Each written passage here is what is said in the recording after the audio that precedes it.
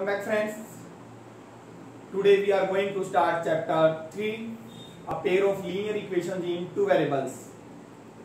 आज हम स्टार्ट कर रहे हैं चैप्टर 3 जो कि है a pair of linear equation in two variables आपने नाइन्थ क्लास में किया है a linear equation in two variables सिर्फ़ एक ही लीनियर इक्वेशन की है। और टेंथ क्लास में हम करेंगे pair of linear equation in two variables यानी कि दो लीनियर इक्वेशन होगी आपकी टू वेरिएबल्स में। पेयर का मतलब दो। देखिए इधर जनरल फॉर्म इसकी जनरल फॉर्म क्या होती है या स्टैंडर्ड फॉर्म का स्टैंडर्ड फॉर्म या जनरल फॉर्म आपको पता है नाइन्थ क्लास में किया था a x plus b y plus c equal to zero this is the standard form of a linear equation in two variables for example मैं अगर एग्जांपल लूँ, किया था आपने? याद है? जनरल फॉर्म अगर हम बात कर रहे हैं पेयर की, दो तो a one x plus b one y plus c one equal to zero another is a two x plus b two y plus c two equal to zero अब a one b one c one आपको पता है ninth class में भी किया था।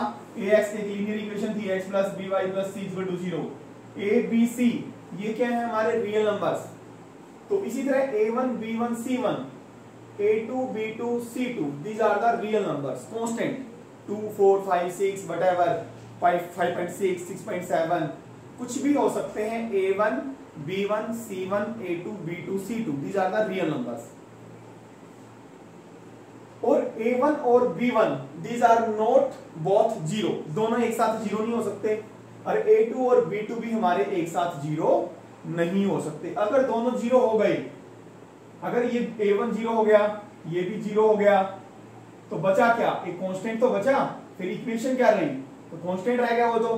Linear equation two variables में तो नहीं रही ना? तो इक्वेशन ही नहीं रही हमारी। तो दोनों एक साथ ए वन और बी वन ज़ीरो नहीं होंगे, और ए टू और बी टू भी हमारे एक साथ ज़ीरो नहीं होंगे। और जैसे कि एनसीईआरटी में लिखा हुआ है, एक जो कंडीशन वेयर ए वन की स्क्वायर प्लस बी वन की square is not equal to zero या ये कहीं। एक ही बात है मैंने बोला ए वन और बी वन एक साथ ज़ीरो नहीं होंगे, या ये कहें a1 स्क्वायर प्लस b1 की स्क्वायर ज़ीरो नहीं होगा, और a2 और b2 भी एक साथ ज़ीरो नहीं होंगे, कहने का मतलब है a2 की स्क्वायर प्लस b2 की स्क्वायर भी ज़ीरो नहीं होगा। इट मींस ठीक है मेन हमारा ये हो गया। फॉर एग्ज़ाम्पल मैं एग्ज़ाम्पल लेता हूँ। Three x plus two y plus six equal to zero x five x plus four y plus 9 is equal to 0 this is the example of a pair of linear equation in two variables. अगर हम इसमें compare करें a1 हमारा कितना है? 3 b1 y का coefficient 2 और जिसके साथ वेरिएबल नहीं होता, वो constant term c1 6 a2 5 b2 4 c2 9 और आपने नाइन्थ क्लास में एक linear equation in two variables को रिप्रेजेंट भी किया था ग्राफिकली उसको ग्राफ ड्रॉ किया था। अब मेथड्स ऑफ़ रिप्रेजेंटिंग हमारा मेथड्स ऑफ़ रिप्रेजेंटिंग जिस तरह से हमारा नाइन्थ क्लास में भी दो मेथड होते थे, एक linear equation in two variables को रिप्रेजेंट करने के, एक होता है algebraic method second is graphical algebraic का मतलब होता है जो मैंने इक्वेशन बनाई है। वेरिएबल्स में लिखिए जैसे मान लो आपके पास कोई वर्ड प्रॉब्लम में क्वेश्चन दे रखा है the cost of a notebook ninth class में किया था। The cost of a notebook is twice the cost of a pen write a linear equation तो जो मैंने इक्वेशन बनाई, x equal to two y या x plus y equal to zero तो वो हुई हमारी एल्जेब्रिकली रिप्रेजेंटेशन एल्जेब्राइक रिप्रेजेंटेशन हो गई, हमने इक्वेशन बनाई। ग्राफिकल रिप्रेजेंटेशन का मतलब है, आपने जो लीनियर इक्वेशन है, उसका ग्राफ ड्रॉ करना है। दो रिप्रेजेंट करने के तरीके हैं। ठीक है? ग्राफिकली अब जब हम ग्राफिकली रिप्रेजेंट करते हैं, जब हम linear equation in two variables को ग्राफिकली रिप्रेजेंट करते हैं ग्राफिकली ग्राफिकल मेथड तो there can be three situations तीन सिचुएशन हो सकती है। देखो, आपने ग्राफिकल रिप्रेजेंट किया था a linear equation in two variables का जो ग्राफ आता है, क्या आता है? स्ट्रेट लाइन आती है। और यहाँ पे हम क्या कर रहे हैं? दो स्ट्रेट लाइन आएँगी। वहाँ पे एक स्ट्रेट लाइन थी यहाँ पे पेयर ऑफ़ लीनियर इक्वेशन को जब रिप्रेजेंट करेंगे तो कितनी स्ट्रेट लाइन आएँगी? दो स्ट्रेट लाइन आएँगी। ठीक है? एल्जेब्राइक का तो आपको पता लग गया कि इक्वेशन बन गई हमारी एक्स और वाई में। This is called the algebraic method अब ग्राफिकल मेथड अब ग्राफिकल का मतलब ग्राफ ड्रॉ करना। जब हम ग्राफिकल मेथड की बात करते हैं there can be three situations तीन सिचुएशन हो सकती है। ये तो आपको पता लग गया, दो स्ट्रेट लाइन आएँगी। Lines can be intersecting at a point intersecting at a point एक पॉइंट पे इंटरसेक्ट कर रही है हमारी। सेकंड है हमारा the lines can be parallel parallel हो सकती है लाइन क्योंकि दो दो दो लीनियर इक्वेशन होंगी तो दो लाइंस आएँगी हमारी। पहले एक लाइन आती थी नाइन्थ क्लास में, अब हम ग्राफ ड्रॉ करेंगे, दो स्ट्रेट लाइन आएँगी। दोनों स्ट्रेट लाइन इंटरसेक्टिंग हो सकती है, दोनों पैरेलल हो सकती है। तीसरा कोइंसिडेंट कोइंसिडेंट का मतलब है दोनों ग्राफ, दोनों लाइन कोइंसिडेंट एक लाइन दूसरे पे लाई करे। दोनों का ग्राफ सेम हो। ये मान लो एक लाइन का ग्राफ है और दूसरी लाइन का भी ग्राफ यही हो। को करें दोनों line there can be three situation ठीक है? अब now we start exercise 3.1 question first Aftab tells his daughter seven years ago, I was seven times as old as you were then देखिए, आफ्ताब अपनी डॉटर से कहता है कि सेवन ईयर्स एगो सात साल पहले आई वॉज़ सेवन टाइम्स मैं सात गुना था एज ओल्ड एज यू जितनी आपकी एज थी, जब मैं कितना था? मेरी एज आपसे सात गुना थी। आफ्ताब कहता अपनी डॉटर से। Also three years from now from now का मतलब आज से, आज के बाद। Also three years from now आज से तीन साल बाद I shall be three times as old as you will be जितनी आपकी एज होगी, मेरी एज आपसे तीन गुना हो जाएगी। जैसे बेटे की एज मान लो, पंद्रह साल होगी तो फादर कहता, मेरी एज फोर्टी फाइव हो जाएगी। तीन गुना। Represent this situation algebraically and graphically algebraically का मतलब वही है। एल्जेब्रिकली का मतलब है कि आपने लीनियर इक्वेशन इनटू वेरिएबल्स बनानी है, दो इक्वेशन और ग्राफिकली का मतलब है आपने उनका ग्राफ ड्रॉ करना है। जैसे आप नाइन क्लास में करते थे। ये एजीज की जो क्वेश्चन है, बहुत आसान है, बहुत ही आसान है। इन क्वेश्चन में हमें प्रेजेंट एज मान के चलनी पड़ती है। Let present age of Aftab ये ध्यान रखना। Let present age of Aftab x years हमने मान ली। वाई मान सकते हो। एक्स मान सकते हो। आपकी मर्ज़ी है। और present age of daughter daughter की मान ली हमने वाई ईयर्स समझ आ रहा है? फ़र्स्ट कंडीशन फ़र्स्ट कंडीशन क्या कहती है? अब एक बार ध्यान देखें आप, अगर आपको ये चीज़ इक्वेशन बनाने कई बच्चों को बहुत टफ लगती है, बहुत ही आसान है देखेंगे अगर मैंने बोला x is twice of y, इस चीज़ को समझे आप, ये वर्ड प्रॉब्लम में है x इज़ का मतलब x is is equal to is x है y का दुगना। X दुगना है ना? Y का। तो x की तरफ़ मल्टीप्लाई नहीं होंगे, y की तरफ़ मल्टीप्लाई होंगे टू x इसका मतलब x is equal to twice of y का मतलब टू वाई ठीक है? इसी तरह आफ्ताब कहता है सात साल पहले मैं सात गुना हो जाऊँगा, डॉटर से कहता है। यानी कि आफ्ताब यहाँ पे आफ्ताब आफ्ताब की एज कितनी है, x. वो सात गुना x इज़ सेवन टाइम्स किसका ऑफ़ डॉटर? डॉटर कितना है? वाई ठीक है? इसका मतलब यही है। आफ्ताब सेवन टाइम्स है। बट कब की बात कर रहा है? आई वाज सेवन टाइम्स मैं था। यहाँ पे आफ्ताब सेवन टाइम्स किसका? डॉटर का। तो यहाँ पे आफ्ताब की एज बट कब की? सेवन इयर्स एगो सात साल पहले। अब आफ्ताब सात साल पहले सेवन ईयर्स एगो देखो, पूरी डिटेल लिखने की ज़रूरत नहीं है। जैसे लिखे, लिखवाते हैं कई teacher seven years ago Aftab as Aftab की एज कितनी हो जाएगी? सात कम हो जाएगी ना? अगर आज मान लो पचास साल है तो सात साल पहले क्या होगा? पचास माइनस सात तो एक्स माइनस सात। और डॉटर की एज क्या हो जाएगी? वाई माइनस सेवन समझ में आ रहा है? तो यहाँ पे लिखना है, आफ्ताब की एज एक्स माइनस सेवन और इज़ इक्वल टू सेवन और यहाँ पे लिखी डॉटर की एज वाई माइनस सेवन समझ आ रहा है? यानी कि आपको इस इक्वेशन को पकड़ना है आफ्ताब सात गुना था डॉटर से।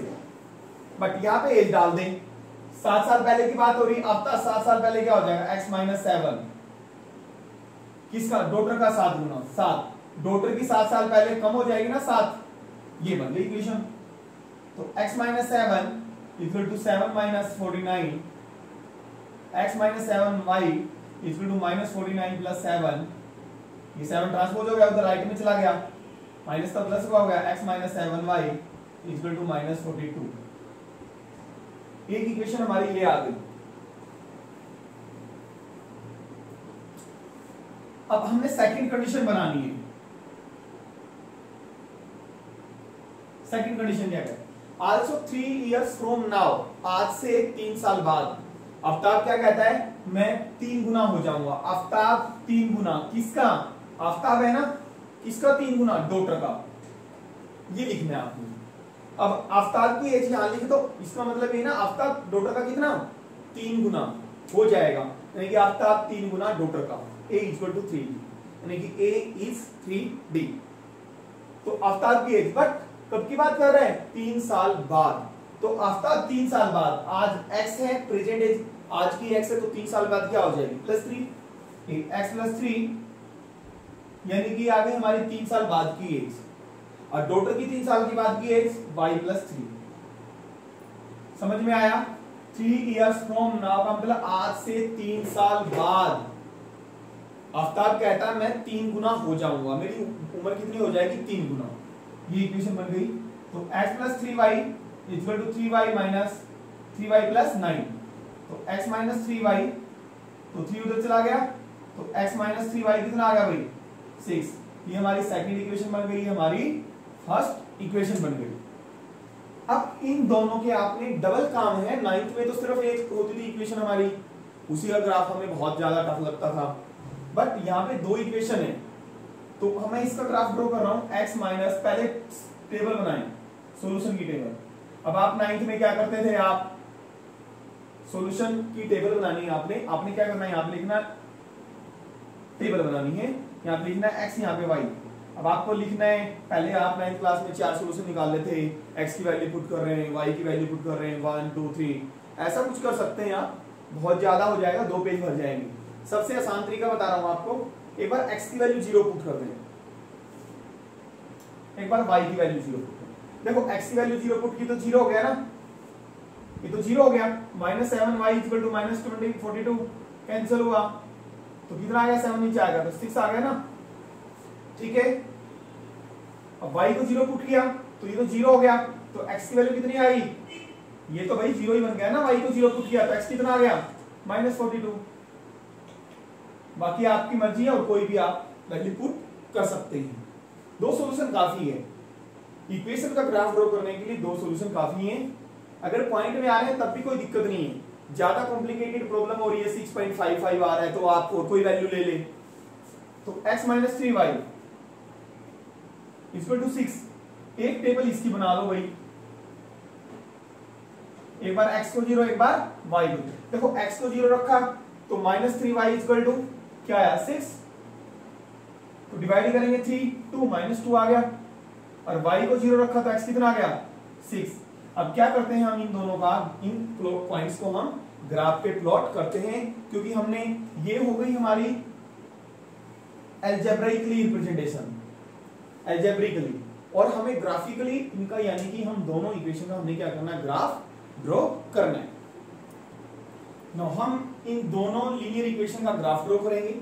X minus seven equal to minus forty two तो पॉइंट्स कौन से ज़ीरो सिक्स तो एक हो गया हमारा ज़ीरो सिक्स देखें.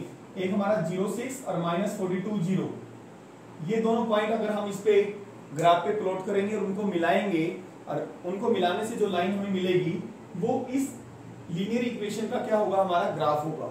ज़ीरो सिक्स अब ज़ीरो सिक्स देखें भाई कहाँ पे होगा? यहाँ पे. एक्स ज़ीरो वाई एक्सिस पे होता है, आपको पता है। Minus forty two zero minus forty two इसके माइनस फोर्टी और माइनस फिफ्टी के बीच में टेन डिविजन होंगे minus forty two near about यहाँ पे। तो इन दोनों को हम मिला देंगे। तो ये हमारा ग्राफ ये पॉइंट हमारा ज़ीरो सिक्स और ये हमारा माइनस फोर्टी टू ज़ीरो अब हमारा दूसरा जो, ये, इसका ग्राफ आया हमारा ये हमारा ग्राफ आया x minus seven y equal to minus forty two का ग्राफ अब second zero minus two zero minus two भाई कहाँ पे आएगा? यहाँ पे। Six and zero six zero हमारा यहाँ पे होगा फाइव यहाँ पे six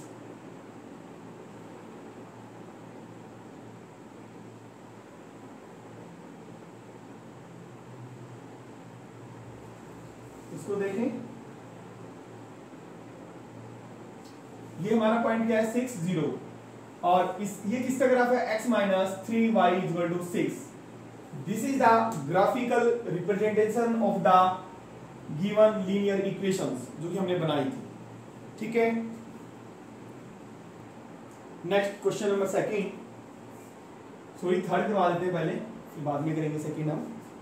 the cost of two K G of apples and one K G of grapes on a day was found to be rupees one sixteen एक दिन ये देखा गया कि cost to K G apples की और plus one K G grapes की, दोनों की मिलकर कॉस्ट कितनी दी हुई है? One sixteen after month the cost of four K G of apples apples and two K G of grapes is rupees three hundred four K G और to K G grapes की four K G apples की और to K G grapes की cost कितनी दी हुई है? Three hundred represent this situation algebraically and graphically वही हमने इक्वेशन बनानी है लीनियर इक्वेशन इनटू वेरिएबल्स और उसको हमने क्या करना ग्राफ ड्रॉ करना है।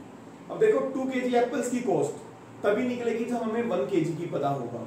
तो इसलिए वन के जी हमें पता नहीं, हम मानेंगे let cost of one K ji Apple one K G apples rupees x मान ली हमने। क्योंकि वन के जी की मानेंगे, तभी तो टू के जी की चाहिए हमें और cost of one K G grapes rupees y first condition अब मुझे बताएँ, एक के जी की एक्स है। टू के जी एप्पल्स की कोस्ट कितनी होगी? टू एक्स हो गई ना? और अब and one K G grapes एक के जी ग्रेप्स की कितनी है वाई दोनों मिलके कितनी कोस्ट दी हुई है? 160 फ़र्स्ट कंडीशन हो गई होगी समझ आया? जैसे मान लो एक के की कॉस्ट है आपकी एप्पल्स की एक्स रुपीज़ टू टू के की कितनी हुई? टू एक्स और प्लस साथ में वन के जी ग्रेप्स दोनों की कॉस्ट कितनी है? 160 अब तो सेकंड कंडीशन आप बना सकते हैं। Second condition four K G apples एक एप्पल की कॉस्ट एक के जी एप्पल्स की कॉस्ट कितनी? एक्स फोर की कितनी हुई?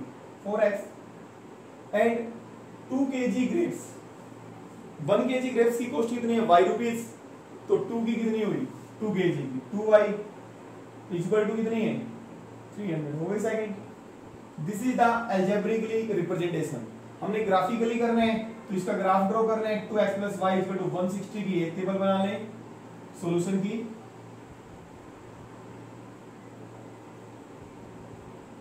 यहाँ लिखे x, यहाँ लिखे y. देखो x को ज़ीरो पुट करो. तो ये तो ज़ीरो हो गया। प्लस कितना आ गया? 160 और y को ज़ीरो किया। कितना आया? देखो तो ये तो ज़ीरो हो गया। अब तू नीचे आगे डिवाइड करेगा तो कितना आया? 80 समझ आ रहा है? Next 4x plus 2y equal to 300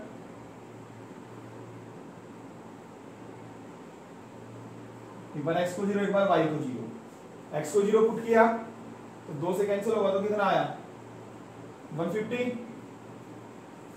और y को ज़ीरो पुट किया तो 300 बाई फोर सेवेंटी पे अब इन दोनों का आप ग्राफ ड्रॉ कर सकते हैं।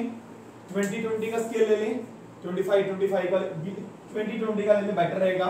या 40 40 का गैप ले सकते हैं इस तरह से। यहाँ पे 40 80 120 या 20 20 का गैप ले सकते हैं ठीक है? On x axis and y axis ध्यान दें एक्स एक्सिस और वाई एक्सिस पर आप अलग अलग गैप ले सकते हैं, जैसे हमने पिछले क्वेश्चन में लिया था, या आप यहाँ पे सेम ले सकते हैं। Next question number second the coach of a cricket team buys three bats and six balls for rupees three hundred जो क्रिकेट टीम का जो कोच है, तीन बैट खरीदता और सिक्स बॉल्स कितने रुपए में? थ्री थर्टी नाइन हंड्रेड में। Later she buys another bat and three more balls of the same kind rupees thirteen hundred तो बाद में वो एक बैट और तीन बॉल्स उसी सेम टाइप की खरीदता है, कितने रुपीज़ में? Thirteen hundred represent this situation algebraically and graphically जब कुछ बुक्स में हमारे पास थ्री मोर बॉल्स की बजाय टू मोर बॉल्स भी दिया होता है। सेम है ग्राफ आपको उसी तरीके से ड्रॉ करना है। यहाँ पे किसी बुक्स में हमारे नई जो बुक आई है, उसमें थ्री दिया होता है। और जो पुरानी बुक्स है, उसमें टू मोर बॉल्स दिया है। ठीक है? अब वही सेम है थ्री बैट की कॉस्ट तभी निकलेगी जब हमें एक बैट की कॉस्ट पता होगा। Let cost of a let cost of a bat rupees x और कॉस्ट ऑफ़ वन बैट लिख देते हैं। कॉस्ट ऑफ़ वन किसकी? Ball rupees y first condition क्या होगी? थ्री बैट एक बैट की रुपीज़ एक्स है तो थ्री की कितनी हुई? Three x six ball. Three bat और सिक्स बॉल। देखो three bat plus six ball. दोनों की कॉस्ट मिलके कितनी है? थर्टी थर्टी नाइन हंड्रेड अब यहाँ पे कॉस्ट लिखेंगे थ्री बॉल्स की। सॉरी थ्री बैट की कॉस्ट आ गई और प्लस सिक्स बॉल्स की कॉस्ट लिखनी है। एक बॉल की वाई है तो थ्री की कितनी हो गई? सिक्स है sorry six thirty nine hundred की हमारी फ़र्स्ट इक्वेशन सेकंड कंडीशन तो एक बैट खरीदता है। सी बाइज अनदर बैट एक बैट और खरीदता है। और तीन, एक बैट और तीन बॉल्स टोटल कॉस्ट कितनी? थर्टीन हंड्रेड तो एक बैट की कॉस्ट कितनी? एक्स थ्री बॉल्स की थ्री वाई कितनी? थर्टीन हंड्रेड अब इसका ग्राफ ड्रॉ कर लेंगे आप। थ्री एक्स प्लस ये हो गई एल्जेब्रिकली रिप्रेजेंटेशन और this is thirty nine hundred इसकी टेबल बनाए। एक्स वाई जैसे मैंने बोला एक्स को ज़ीरो वाई को ज़ीरो एक्स को ज़ीरो पुट किया। तो ये आ गया हमारा thirty nine hundred by six तीन से कैंसिल हो जाएगा। तीन से थर्टीन थ्री सिक्स फिफ्टी आ गया। वाई को ज़ीरो पुट किया। थर्टीन हंड्रेड और कोई भी वैल्यू पुट कर सकते हैं यहाँ सीधी हमारी डायरेक्ट वैल्यू आ गई। परफेक्ट नंबर आ गई हमारी, यानी कि हमारा एक होल नंबर आ गई वैल्यू और द सेकंड हमारा x plus three y equal to thirteen hundred y को ज़ीरो पुट करेंगे तो x की वैल्यू थर्टीन हंड्रेड अब ध्यान दें, जब x को ज़ीरो पुट करूँगा मैं तब thirteen hundred by three fraction में आ रही है। Four hundred thirty three point something कोई दिक्कत नहीं है। आप उसको भी रिप्रेजेंट कर सकते हैं। समझ आ रहा है? आप थ्री से डिवाइड करेंगे होल नंबर नहीं आएगा। पॉइंट में आएगा। ये वैल्यू भी ले सकते हैं। या कुछ और वैल्यू ले लेते हैं हम। एक्स को ऐसा क्या पुट करें कि उधर माइनस हो थ्री से डिवाइड हो। Thirteen sorry three hundred three hundred sorry four hundred क्योंकि नाइन हंड्रेड होगा, तभी तो तीन से डिवाइड होगा। तो फोर हंड्रेड लेंगे हम। एक्स की वैल्यू फोर हंड्रेड ली। फोर हंड्रेड फोर हंड्रेड हमने एक्स की value Lee plus three y to thirteen hundred तो थ्री वाई कितना आ गया? नाइन हंड्रेड तो तीन से डिवाइड हो गया थर्टीन हंड्रेड ठीक है? आप वैल्यू x की भी ज़ीरो पुट कर सकते हैं। जैसे फॉर एग्जांपल में x की वैल्यू भी आप ज़ीरो पुट कर लो। X की वैल्यू ज़ीरो पुट की तो 1300 डिवाइड बाय 3 3 4 जा 12 3 3 जा 13 9 3 3 जा 9 3 3 जा 9 4 33 पॉइंट समथिंग 3 ये आ गई वैल्यू ये भी ले लें आप. ठीक है? अब इसका आप ग्राफ ड्रॉ कर सकते हैं. स्केल डिस्टेंस ले लें. 500 का ले लें या 200 100 का ले लें. आपकी मर्ज़ी, कोई दिक्कत नहीं है. ठीक है? ओके